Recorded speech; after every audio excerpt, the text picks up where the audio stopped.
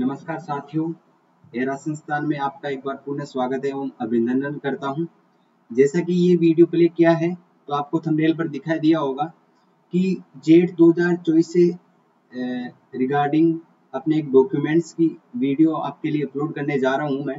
ठीक है तो आपको सामने दिखाई दे रहा होगा डिस्प्ले पे JET 2024 required document for reporting मतलब अपन इस वीडियो के अंदर ये चर्चा करेंगे कि जो जेड 2024 में भाग लेने वाले जिन स्टूडेंटों ने काउंसलिंग करवाई है, ठीक है, वो उनका नंबर कॉलेज में हो गया या फिर उनको कॉलेज अलॉट हो गई। तो उसके बाद में जो रिपोर्टिंग का जब समय आता है, उस समय अपने को क्या क्या डॉक्यूमेंट चाहिए, उसके बारे में अपन संपूर्ण चर्चा करेंगे। इस वीडियो के अंदर, इस सेशन के अंदर सबसे जो मेन बात अपनी ये रहेगी, वो ये है कि जो आपको मैं डॉक्यूमेंट बताने जा रहा हूँ, वो डॉक्यूमेंट आपको सभी स्टूडेंटों के पास अवेलेबल होने चाहिए। अन्यथा, आप एडमिशन से वंचित रह जाओगे। ये वीडियो मैंने पहले यू इसलिए बनाया है ताकि जो स्टूडेंट या फिर जिन स्टूडेंटों के पास अब तक जो मैं डॉक्यूमेंट बताने जा रहा हूँ, वो अभी तक है नहीं तो वो सबसे पहले डॉक्यूमेंट अपने अपने पास रखे, सारे डॉक्यूमेंट तैयार करके रखे, ठीक है? तो सबसे पहले तो मैं सारे स्टूडेंटों को ये कहना चाहता हूँ, ये रिक्वेस्ट है कि आप इस वीडियो को ज़्यादा से ज़्यादा दोस्तों के पास शेयर करें, ताकि इस वीडियो का हर विद्यार्थी आनंद ले सके और हर विद्यार्थियों को पता चल सके कि अपने जेड दो को लेकर जो रिपोर्टिंग के टाइम अपने को जो डॉक्यूमेंट चाहिए, ठीक है? डॉक्यूमेंट चाहिए, वो क्या क्या चाहिए, ठीक है? अब अपन नेक्स्ट चलते हैं आगे। पहला अपना जो डॉक्यूमेंट्स रहने वाला है, वो अपना डोमिकल सर्टिफिकेट ठीक है? जैसे बात करें अपना निवास प्रमाण पत्र, सबसे पहले तो अपना डॉक्यूमेंट एक यही रहना चाहिए कि जो निवास प्रमाण पत्र होता है, वो क्या होता है, ठीक है? सेकंड आपको ये तो इमित्र पर बना लेना है सबसे पहले तो ठीक है? इसके बाद में अगर बात करें, एक सेकंड चालू रखना।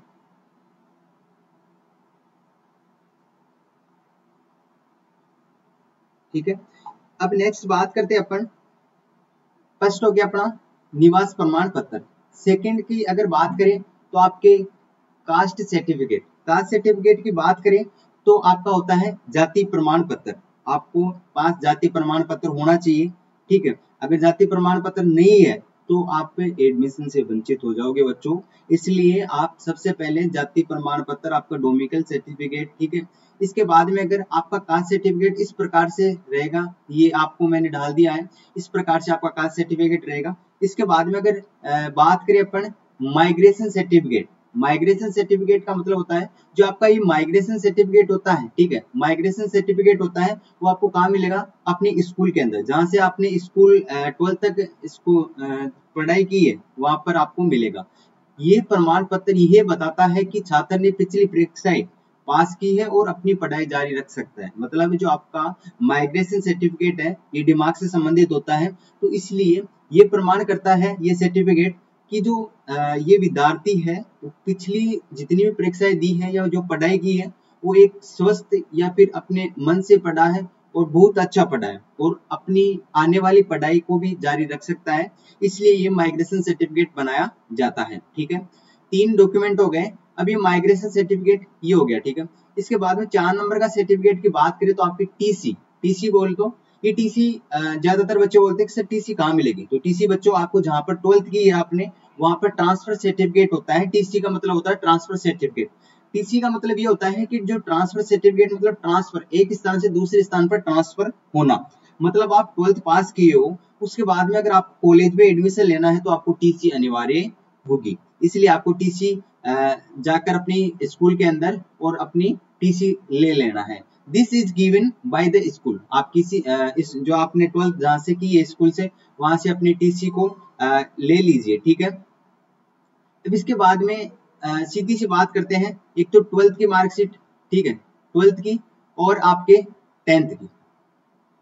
ये दो मार्कशीट होनी चाहिए आपके। टेंथ और ट्वेल्थ की मार्कशीट होनी चाहिए। ये तो मैन अपनी है ही। सेकेंडरी मार्कशीट अभी आपको बताया था। इसके बाद में आपकी जो सेकेंडरी और सीनियर सेकेंडरी दोनों मतलब आपको ट्वेल्थ और टेंथ की मार्कशीट दोनों अनिवार्य है।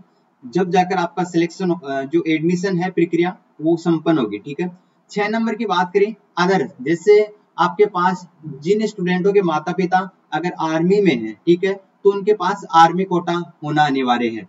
अगर आर्मी कोटा नहीं है तो वह एडमिशन से वंचित हो जाएँगे। दूसरी बात आर्मी कोटा जिन विद्यार्थियों के पास है, उनको नंबरों के अंदर छूट मिलेगी, एक अच्छा कैंपस मिलेगा। इसके बाद में है गेप सर्टिफिकेट गेप सर्टिफिकेट की बात करें तो जो आपके डिस्टेंस रहता है गेप सर्टिफिकेट ज़्यादातर बच्चे बोलते हैं कि सर गेप सर्टिफिकेट होता क्या? तो आज इस वीडियो के अंदर अपन चर्चा करते हैं।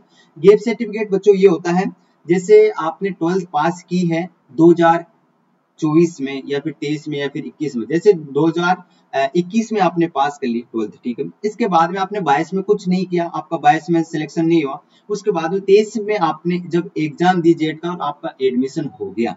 तो आपको गेप सर्टिफिकेट बनाना पड़ेगा, क्योंकि 21 और 23 के बीच में एक साल का डिफरेंट है। कितने साल का? एक साल का डिफरेंस है तो आपको गेप सर्टिफिकेट बनाना पड़ेगा।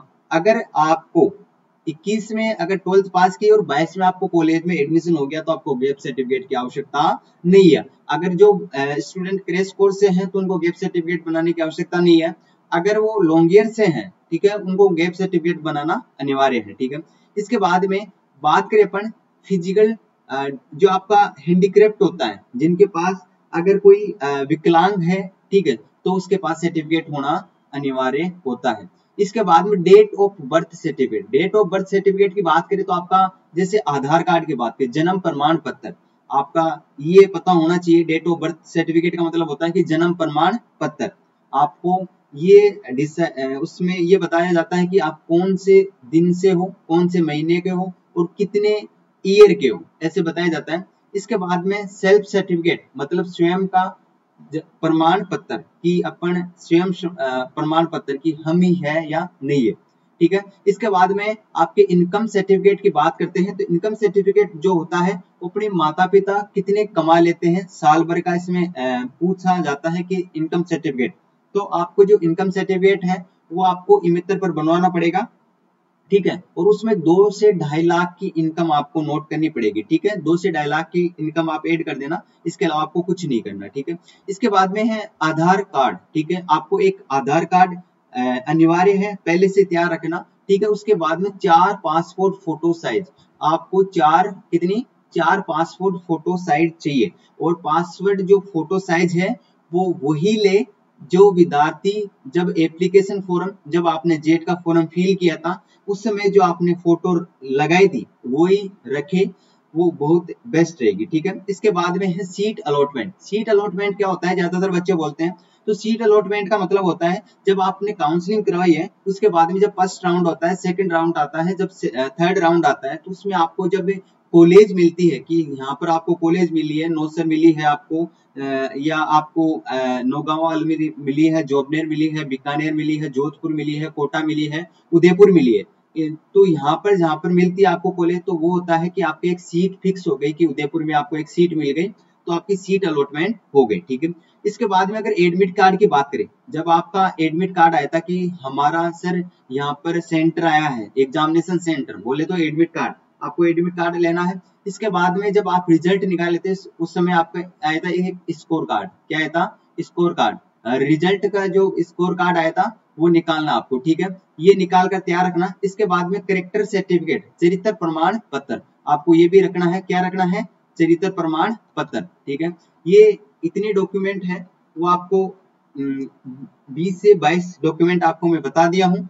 तो आप इन डॉक्यूमेंटों को तैयार रखना। इसके बाद में एक एप्लीकेशन फॉर्म और आता है एप्लीकेशन फॉर्म एप्लीकेशन फॉर्म को भी आप तैयार रखना, ठीक है? जब तक एप्लीकेशन फॉर्म नहीं बन पाएगा तो आप कुछ नहीं कर पाओगे। एप्लीकेशन फॉर्म आधार कार्ड हो गया, ठीक है? जितने भी आपको मैंने डॉक्यूमेंट बताए हैं, वो उन डॉक्यूमेंटों को आप तैयार रखना ठीक है? इसके बाद में आपको मैं एक बात और बता दूँ कि आपके जो पाँच टॉप यूनिवर्सिटियाँ हैं उनकी बात करें तो आपको डिस्क्रिप्शन बॉक्स में एक लिंक दूँगा। उसमें जाकर आप चेकआउट कर सकते हो कि कौन कौन सी जो आपकी है पाँच यूनिवर्सिटियाँ हैं ठीक है? इसके बाद में अगर बात करें कि आपके फ़र्स्ट राउंड में कट ऑफ़ कितनी रहने वाली है ठीक है? ज़्यादातर बच्चे बोलते हैं कि सर मेरा फ़र्स्ट राउंड में मिल जाएगी कि मेरे को कॉलेज तो आपको मैं एक डिस्क्रिप्शन बॉक्स में एक लिंक डालूँगा एक वीडियोस की तो क्लास की ठीक है, उसमें ऐसे लिखा होगा कि फ़र्स्ट राउंड की कट ऑफ़ कितनी जाएगी। तो आप वीडियो जाकर चेकआउट कर लेना, ठीक है? थैंक यू ऐसे वीडियो देखने के लिए आप चैनल को सब्सक्राइब करें और इस वीडियो को ज़्यादा से ज़्यादा दोस्तों के पास शेयर करें ताकि आने वाली हर नोटिफिकेशन आपको तुरंत मिल सके, ठीक है? इस चैनल को ज़्यादा से ज़्यादा दोस्तों के पास शेयर करना, क्योंकि हर स्टूडेंटों को अगर शेयर करेंगे तो आपको या फिर आने वाले अपने जो दोस्त है आपके, उनको सभी को फ़ायदा मिल सके इस सेशन का, ठीक है?